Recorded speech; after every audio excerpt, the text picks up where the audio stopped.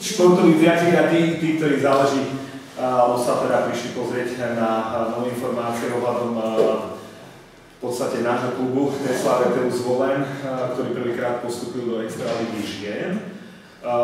Takže uh, vítajte u nás a máte možnosť sa teda dozvedieť nové informácie. Dovolte, aby som vám teda predstavil ľudí, ktorí vám prišli tie informácie povedať. Poprvé začnem teda z kraja. Uh, pani Karin Bajsová bez titulov uh, štatutár Tesla ktorý zvolen, pán Lubomír Havran, ktorý je manažér, Janka Tužinská, hráčka, dlhoročná hráčka, veľmi skúsená hráčka, vedľa nej tréner Martin Rašner, no a takisto predseda volejbalového klubu, klubu Stano Azel, meno Erik Selecký. Priebeh bude asi taký, že manažer pán Havran povie základné informácie, uh, čo sa týka čo sa týka extraligy žien a takisto, takisto aj klubu. Uh, potom uh, prípadne povedia ďalšie informácie a doplňa ho jeho kolegovia a potom máte priestor na otázky a potom individuálne si môžete samozrejme spraviť s kolegami rozhovor, ako budete potrebovať. Takže nech sa páči. No. Um, povedzme, chcel som povedať na tom, že Myslím si, že to je trošku taký zázrak malý, že my sme vlastne po dvoch rokoch fungovania tých žien s Maťom Rašnerom sa dopracovali k tomu, že tu teraz sedíme a že, že teraz sme v tej extralige. Myslím si, že, že sme prešli vlastne takou, dva roky takou si svojou amatérskou nejakou bázou, kedy sme, e, sme sa tomu venovali takým spôsobom, že ja som zajal peňažky a Maťo trénoval za nejaké malé peniažky, s tým, že to chcel vlastne, vlastne vrátiť zvolenú, to čo, alebo teda chcel sa vrátiť do a chcel pomôcť zvolenú, zvolenú s tým volejbalom. Oslovil mňa a, a podarila sa nám takáto vec. Um, musím povedať, že, uh, že, že trošku to je aj prekvapenie, ale na druhej strane je to výsledok toho, že, že, že tie hráčky nám verili tak sme oslovali, že možno, že sme, sme zapriečení u niektorých klubov, čo sú po okolí, menší, menšie zemetrasenie, ale, ale tie hráčky nám uverili, že teda my dokážeme dotiahnuť vysoko. Nakoniec sa na to aj podarilo. A TS Lagertelu zvolen vlastne uh, predtým fungovala v, takej, v, takej, v takom režime, že, že mala všetky tie mládežnícke zložky, kde vlastne pôsobili hlavne dvaja ľudia, Marek Dobrý, ktorý tu sedí vlastne teraz oproti a stal nazor. A aj na základe toho vlastne, že, že sme mali tie hráčky, ktoré tam vychovávali, tak sme si, sme si teda mohli e, dovoliť niektoré osloviť e, do žien.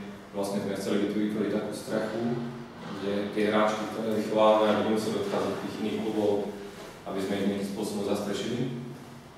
No a vlastne v tejto sezóne, v tejto novej sezóne 2015-2016 po tej úspešnej baráži, kde sme skončili prvý a kde si myslím, že, že na základe toho výsledku uh, sa, sa asi ukázalo, že do tej extraligy patríme, tak, uh, uh, tak v tejto novej sezóne zase obsadíme všetky tie uh, vekové kategórie od prípravky mladšie dečky, žiačky, staršie dečky, kadetky, juniorky. No a teda, uh, teda budeme hrať uh, ženskú extraligu, čo bude vlastne v tom bude taká čerešnička na tom. Um, to, to rozhodnutie sa nerodilo, ako musím povedať, tá ženská extraliga je tak zhruba asi 4 4 pre nás drahšia. A my sme si povedali, že, že ak to máme ísť, tak musíme, musíme teda to postaviť na dvoch pilieroch, alebo teda na troch, alebo na dvoch hlavných. A to je, to je podpora mesta a podpora Technickej univerzity. A sme veľmi radi, vlastne, že, že sa to chytila či už primátorka, pani Valkovičová alebo rektor univerzity eh, Rudolf Papil.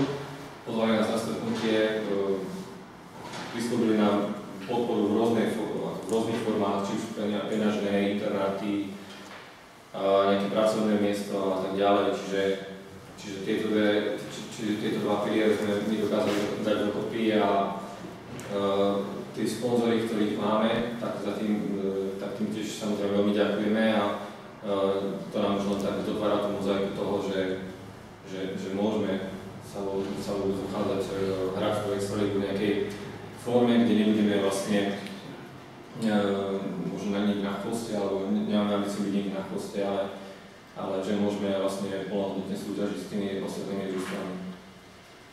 Um, ja by som povedal uh, už len toľko, a potom by som prenechal Matejovi vlastne priestor na tú športovú stránku, že uh, tak ako vlastne tí sponzory uh, sa, sú väčšinou takí, takí menej nezištní, uh, tak ako Technická univerzita spolu s primátorkou do toho vošli, tak veríme, že, že teda nestávame ich dôveru a že, že vlastne že sa pokúsime a v tom klube vlastne uh, všetci sa pokúsime o to, aby to, aby, aby to aj pre nich bolo zaujímavé, aby sme vlastne v ďalšej sezóny mohli, alebo dlhodobo mohli udržať tú stranu. A aj na základe toho, vlastne, že, že sme sa chceli posunúť trošku z tej amatérskej bázy za, za posledné dva roky a chceli sme sa presunúť do takej niečo profesionálne, ale aspoň poloprofesionálne, kedy, kedy dokážeme vlastne zabezpečiť nejaké finančné prostriedky, či už hráčkam, alebo trénerovi, alebo tomu obslužnému personálu. Tak eh, aj kvôli tomu sme vlastne prešli na, nejakú, na nejaké iné fungovanie toho celého klubu, že sme spravili nejaké organizačné zmeny, Robili sme si miesto prezidenta, výkonnej rady, trénerského radu, robili sme si hospodárov klubu a veríme, že teda spoločnými silami, keďže nás bude viacej, dokážeme, uh, dokážeme, aby ten klub napredoval tak, ako si my to. Takže poprosil by som na tej športovej stránke. No, sa by sa mohol vyjadriť asi to v tej príprave na sezónu. Tá nám začala tento pondelok, 3. augusta. Posledné tréningy uh, sú dvojfázové, do obeda sa trénuje hlavne posilovní a po obede sa trénuje v teréne, máme sila, výbušnosť. Takéto veci. V podstate v tej príprave to máme správne tak, že uh, tie dievčatá, ktoré pracujú, tak trénujú vlastne do obedňajšie tréningy a po obedňajšie. A v podstate iba tri hráčky majú individuálnu prípravu v auguste, ktoré sú buď pracovne veľmi vyťažené, alebo sú z iných miest. To máme vlastne dve žilinčanky, Ursu Kovačikovú a Rusku Tomašikovú. A ešte z ďalekého Liskovca. Takže vlastne, čo sa týka tohto, v tomto režime to vlastne bude fungovať 3 týždne a keďže tá liga, liga začína dosť skoro, takže začína niekedy 15. oktobra, teraz začína 26. septembra, tak e, v podstate už posledný augustový týždeň musíme ísť do haly a venovať sa už volejbalu koptám. Takže potom vlastne do, tej, do toho zápasu prvého tam vlastne budú 4 týždne vlastne technika a pevné činnosti a tak ďalej. To je také dobro potom. Ďalšia vec ešte, uh, rozmýšľali sa, sme veľmi nad tým, že či na nejaké turnaje, ale keďže je toho času dosť málo, uh, keďže na tých turnajov naozaj absolvoval som ich už veľa je tam strašne veľa čakania, málo hrania. A, takže sme sa dohodli, na prípravných zápasoch Luka Nitra, ktorá aj minulý rok vlastne hrala o popredné priečky a máme tam dobré vzťahy, takže vlastne 1. septembrový týždeň a v stredu teda 1. septembrový týždeň a zase v stredu 2. septembrový týždeň vlastne odohráme prípravné zápasy s Nitrou. A vlastne potom už nám zostáva nejaký týždeň dačo a hrá sa. Ku kádru. V podstate e, to, čo už aj Hugo spomenul, toto družstvo nie je e, také, že by to boli samé hráčky, ktoré, ktoré nikdy nehrali v e, Extraligu. Takže my tu máme teraz, čo vám pozeral, nejakých 5 hráčok, možno ešte nejaká pribudne, ktoré tu extrémne hrali buď v Žari nad Hronom, od Brezovej a vlastne Žilinčanky. Takže tam bude tých 5-6 extraligových hráčov, ktoré už to majú za sebou. Takže na tým sa to bude stávať a plus, plus k ním pribudli vlastne talentované hráčky, ktoré minulý rok hrali prvú ligu s nimi. Neviem, k tomu zádu, koľko by som sa mohol... Čo? Máš? Vlastne na súpiske je teraz 17 hráčov, ktoré, ktoré sú. My sme aj do toho išli tak, že aj keď sme hrali vlastne tú prvú ligu minulý rok, teda predtým, tak sme stále riešili to, že aby nás bolo aspoň tých 16, 15 v tom kádri, pretože vždy, vždy sa niečo stane, niekto ochorie, niekto vypadne, zraní sa, takže, takže aby sme mali dostatok, dostatok tých dievčat. Už to už, dobre, no. Uh, veľmi sme chceli hrať na, na, na Technickej univerzite, kde je útulná hala, ale keďže uh, federácia to nepovolila, dostali sme výnimku, tak budeme hrávať na 9. základnej škole na západe, to zvolenie. Uh, čo sa týka, ja si myslím, že to je zle prostredie, tam väčšia tribúna, asi nebolo nejakých 400 ľudí. A ja by som bol veľmi rád, keby tí ľudia, ktorí sa za tie dva roky naučili chodiť na volejbal, keď boli tie lepšie zápasy, tak sme naozaj mali okolo cez 200 ľudí na prvej lige žien, tak ja verím tomu, že sa nám podarí prilákať dostatok ľudí a tú extra ligu, ktorá naozaj sa ide hrať historicky prvýkrát vo zvolenie. Zvolená zažil mužskú extra ligu, teraz sme hrať ženské. Takže asi tak. Martin nejaké tá krajšia.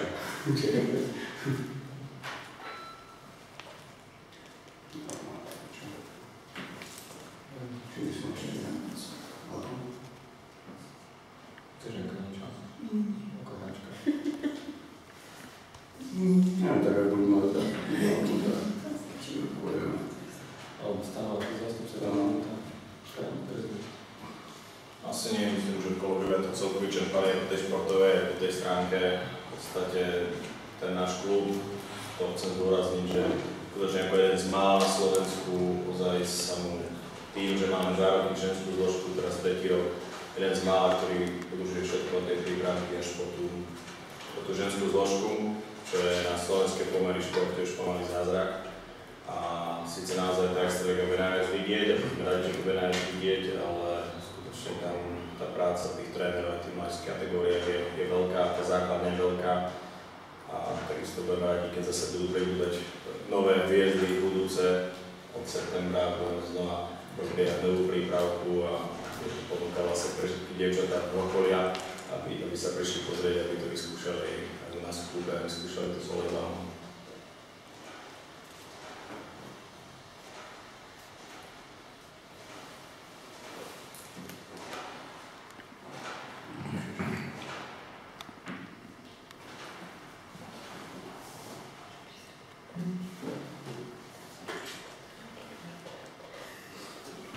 Neviem, či to No hej, keď možno máte niečo. Poviete, že aj aj hráčka, alebo neviem, či bude aj kapitánka, alebo si bola potom situáciu, že No teraz som nebola, lebo som nechodila na všetky zápasy, keďže som mala materské a pracovné povinnosti. Teraz neviem, či bude to všetko záleží na trénerovi a hráčkach, že či si ma vyberú. Každopádne ja sa strašne teším na túto sezónu, lebo ja som odohrala nejaký 8 extraligových sezón žiaľ v Podbrezovej. Strašne som rada, že konečne sa bude hrať extraliga vo zvolení v mojom rodnom meste strašne veľké poďakovanie hlavne okrem vedeniu, stará o nás, že tu máme tie podmienky, myslím si, pri slovenskom športe naozaj veľmi slušné, tak je uh, poďakovanie ostatným hráčkam, lebo strašne veľa dokážu tomu športu obetovať. Jednak sú to pracujúce baby, ponáhľajú sa z roboty, niektoré už majú teraz, čo budú doplňať náš káder, budú mať už takisto mamičkovské povinnosti, takže ako základný uh, kameň úspechu minulé sezóny bol na kolektíve. Sme strašne dobrá partia a tá partia ostáva po kope. Doplňame sa nejakými mladšími dievčatami, šikovnými babami z Krupiny, ktoré tvorili zasa základný kameň toho manžaftu. Takže dúfam, že táto sezóna bude minimálne o, o také dobré party, ako bola tá minulá. Pokiaľ nás budú obchádzať zranenia, si myslím, že môžeme dôstojne reprezentovať univerzitu mesto, pretože v tej baráži sme ukázali, že naozaj ten volebal hrať vieme a sme ťahali jedna za druhú. Takže to asi za mňa. Ako na sezónu sa teším, lebo vidíme, že to veľmi veľký záujem. Takisto od občanov, takisto od sponzorov. Dúfam, že ich nesklameme. Takú podotázku tým, že si spomínala, že si usmiehali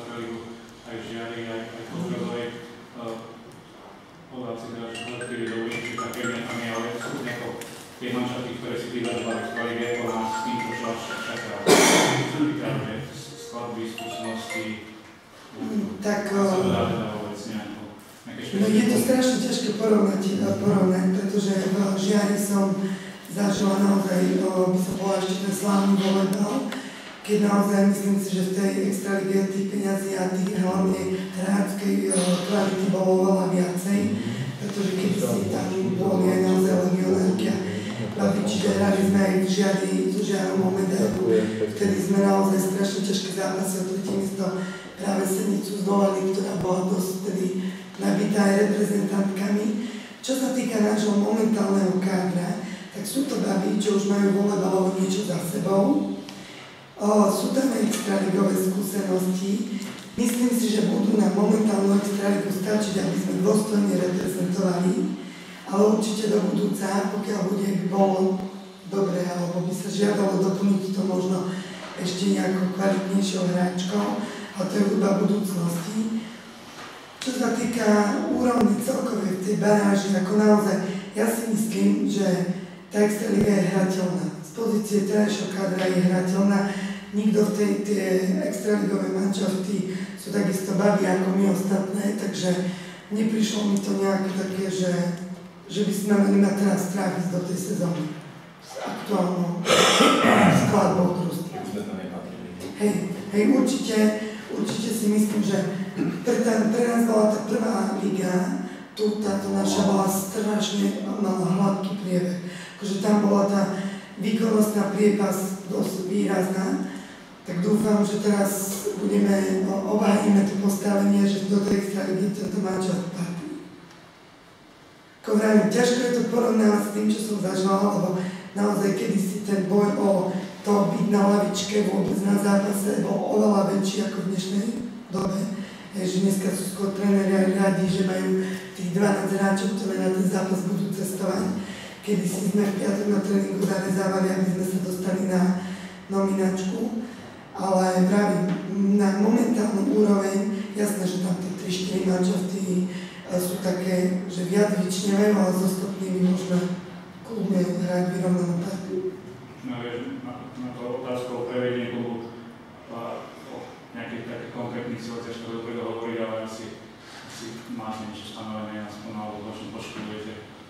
Tak za mňa vnútorne určite by som chcela hrať playoff a vyhnúť sa baráže. A už neviem čo ma hodí.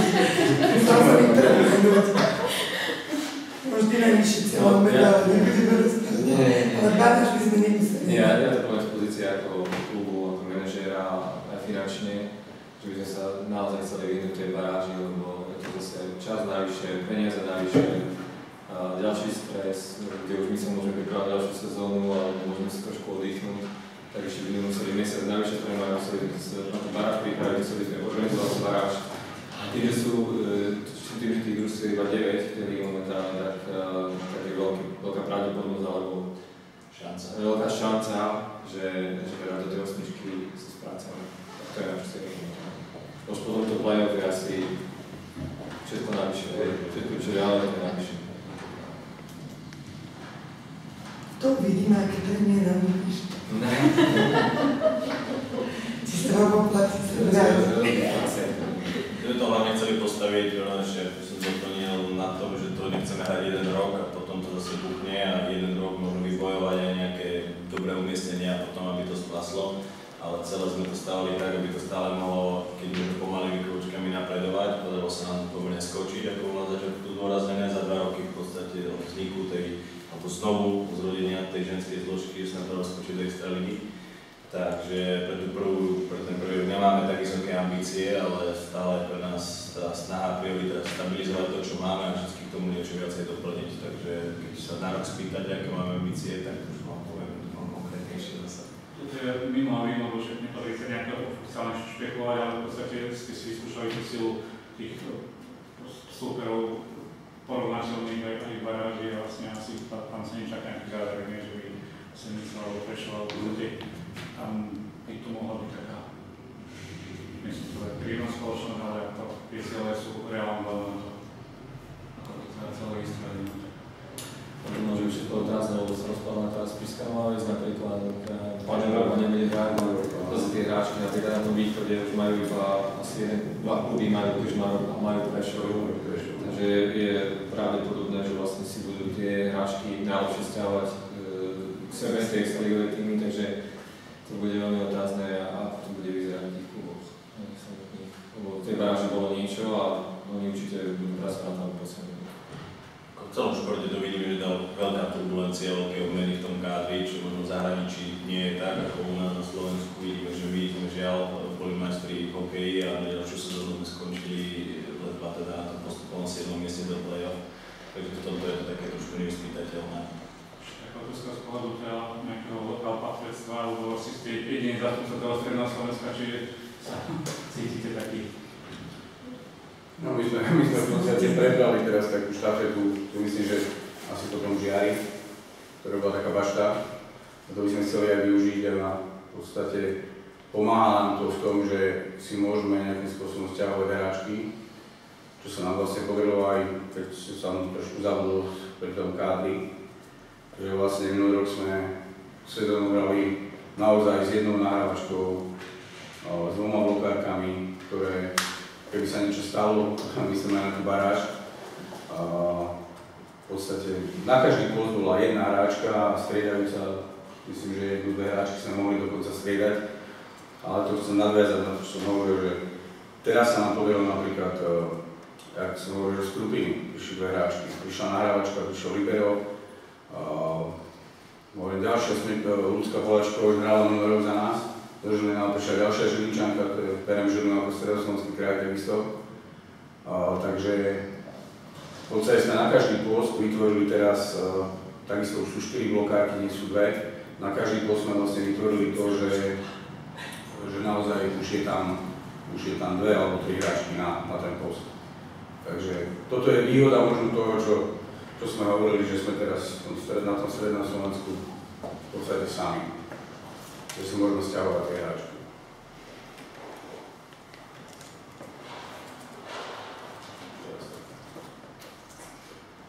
Môžeme, no, čo sa týka financí, tak sú asi zabezpečené do konca sezóny, alebo ako to vyzerá, je to reálne náročné. V tejto dobe je to ťažké, že asi je, že... Tak zrejme, že na sme vlastne rokovali s primátorkou, rokovali sme aj s tým rektorom.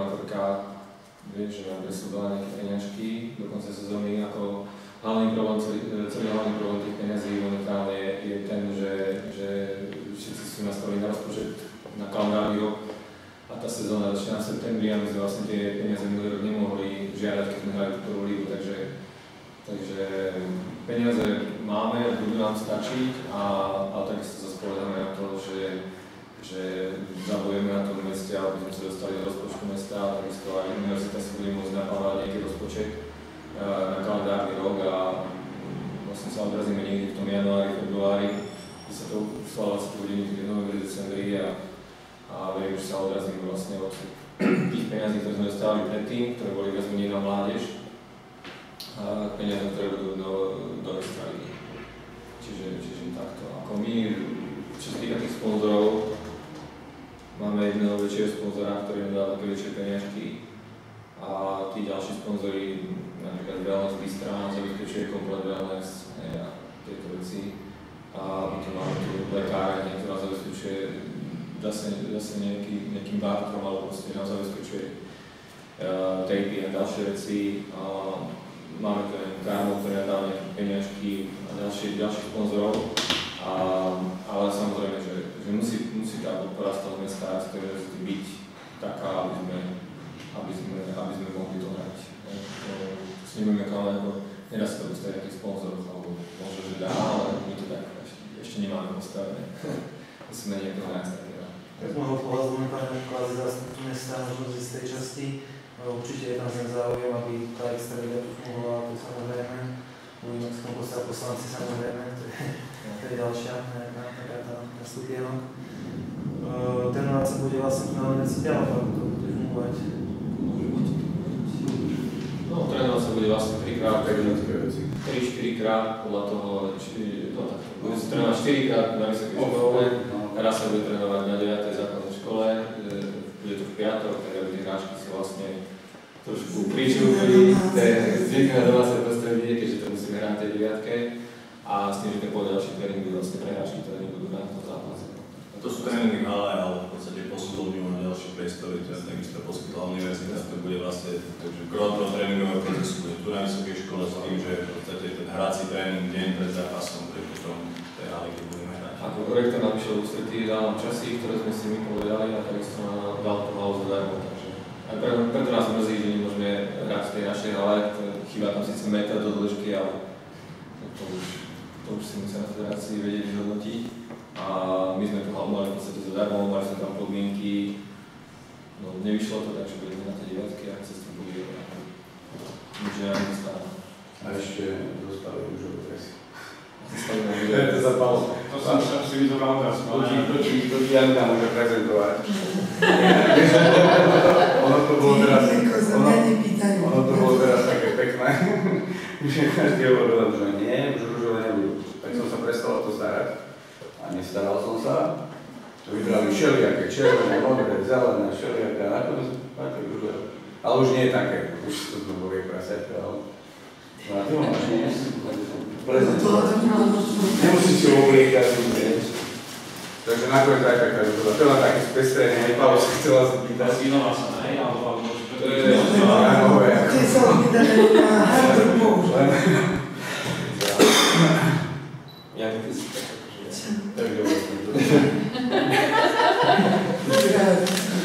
som s tým modom kocky. Ešte ťa poprosím, alebo tiež spravím fotku, aby som... Ježiš, to zvážne. Ja ja som bola najkrajšia fotka, sa to nie? A tie. To teraz. To zdajte na to tvojej strany. Preboha. No a väčšie dekové. Čiže som si odvakil. Ešte nie sú podlačenca, takže... Budeme na preziky. Predtým, že vybrali tiež na tak? Ako? Vybrali fakt, že sa to. Musel som na výberní. No, Vypýtali sa u nás skúsení strašne. Nie sú dole, musím biceps dohľadiť. Lebo som Zlaniť ešte. Ešte prvý prosím, ty si položil teraz takú otázku, že Kryslajga je pre vás asi štíta drahšia, čiže je vyslené pre, pre ten ženský tým, hej, alebo to je ten ženský tým, presne. ako rozpočet, rozporovaný s tým, čo bolo na prvej. A ešte teda na- na- máte jednou sa osobnú vzhľadu na ten posledný článok, čo nerobili, lebo keď si povedala, že však si sa vlastne životným taxikáčením, že nie je tam nejaký iný spôsob, uh, budeš hľadať, či sa teda niečo v tom zmenilo, alebo ako si si upravil ten svoj... Ako, no, zmenilo sa to s tým, že v podstate neviem, zmenilo sa to s tým, že vlastne už uh, sa na taxíku nebudem jazdiť. A v podstate mám robotu takú, ktorá sa dá zladiť s tým, že vlastne môžem, môžem trénovať uh, aj dobednejšie tréningy ako dne. Neviem, či ťa asi to. No, v podstate išlo o to, že, že rektor vlastne vytvoril podmienky na ateliér a Nevedel som, zamestnal čo to môžu asi Ne. V podstate To je som, som zamestnaný na technickej univerzite, na ústave, čiže to Tá spolupráca s tým, tým Ako to je jedna z povie podpory vlastne univerzity, že, že pán rektor vytvoril vlastne miesto, aby sa dalo zladiť vlastne to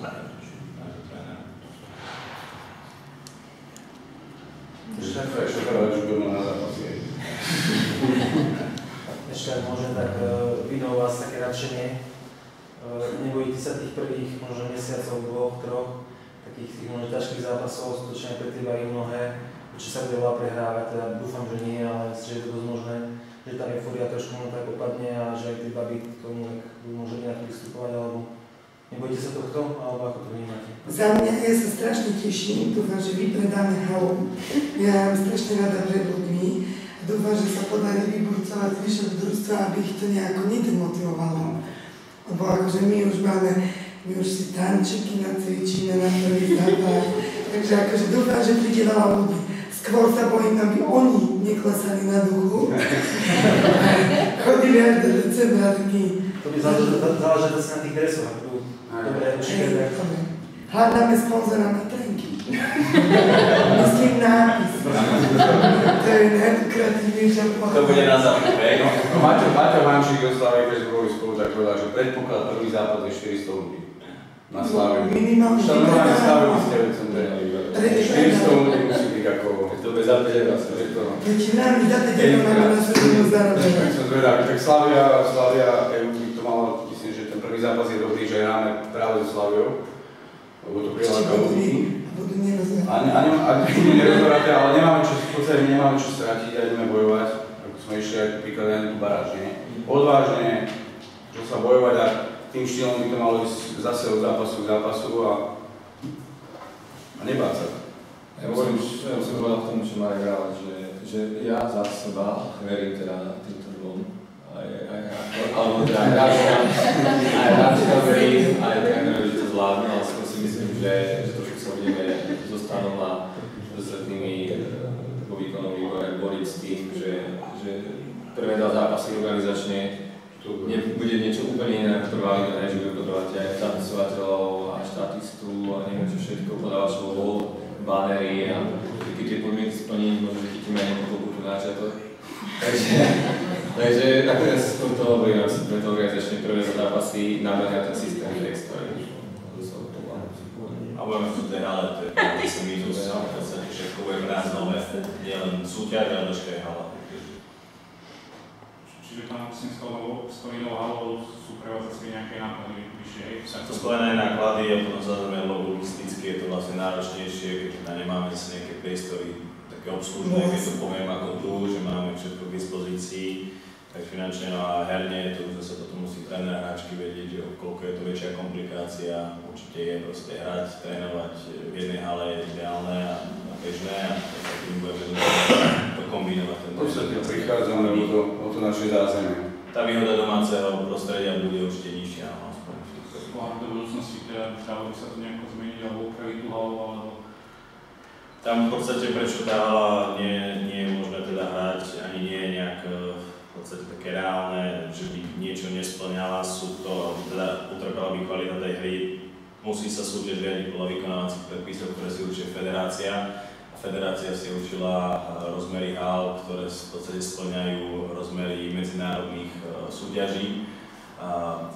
Pretože z tej našej extraligy sa môže postúpiť do týchto medzinárodných súťaží, tak v podstate tieto rozmery haly, dĺžku a šírku si vlastne určili podľa tohto a tým pádom tlačia vlastne extraligové kluby, aby hrali vo väčších halách, aj keď e, my až takého podstate v tom nevidíme, pretože minulý rok treba z švedskej extraligy. Žiadne družstvo nepostúpilo v európskych súťažiach, ale federácia si takto stanovila, takže jednoducho musíme, musíme vlastne počúvnuť.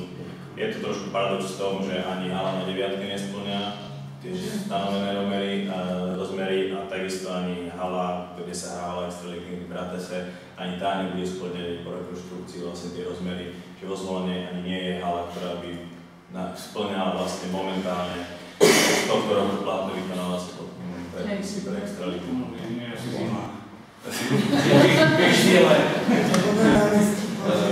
Ale tam sme vlastne zistovali, že minulý rok, čo hrali všetky prvú, prvú družstva, tak ani jedna hala nesplnila. A to je to je-. Tie rozmery, tie šírky a dĺžky vlastne sú rozmery, na čom sa hrá Olympiáda. Okrem jediné, čo upravili, je výška haly z 12 na 7 metrov, čo, čo je jediná vlastne úprava proti tým medzinárodným predpisom. A v našej hale chýba, teda chýba necelý meter do tej dĺžky a tak tomu teda nemohol to. To vlastne Aby slabé. ste ešte tú výšku splnili. My sme splnili aj tú výšku teda, hej. No, no všetko asi nic. Výšku, Ale ale nič nemá. Nie, áno, nie 12 nie, hej. Medzinárodnú výšku nie. Olympiádu by tu hrať nemohli teda. Ale je to škoda, lebo tu ľudia boli naučení chodiť. je v centre mesta. Ale tam budú. Ale ducho ide tam. no. Už sme si ich za dva roky tak naučili trošku.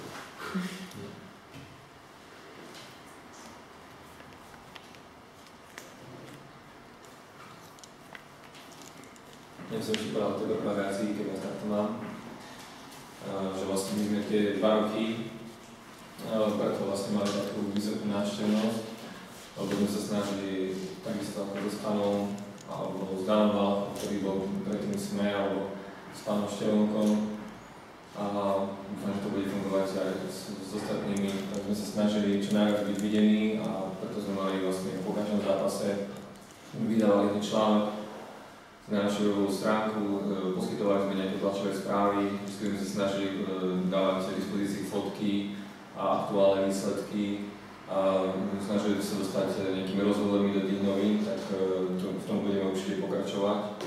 Možno teraz budeme, tam trošku ľahšie, sme sa trošku je to také zaujímavejšie pre tých novinárov, ale, ale vlastne to je cesta, že, že vlastne kvôli tomu sme mali toľko divákov, lebo aj naše facebookovej stránke je 220 e, tých ľudí, ktorí pozerajú a takisto aj všetci novinári e, mali tú spoluprácu s nami. My sa to, to, to sa budeme snažiť vlastne tento, tento rok vlastne robiť. Aby sme to robili naozaj pre tých divákov, mali celý ten servis a tie, tie celé noviny, aby, aby proste bolo vidieť, že, že, sme, že sme niečo hrali a mali o tom zápase aj prehľad, že zhruba, čo sa tam dialo. Čiže takto to budeme aj tento rok realizovať, určite.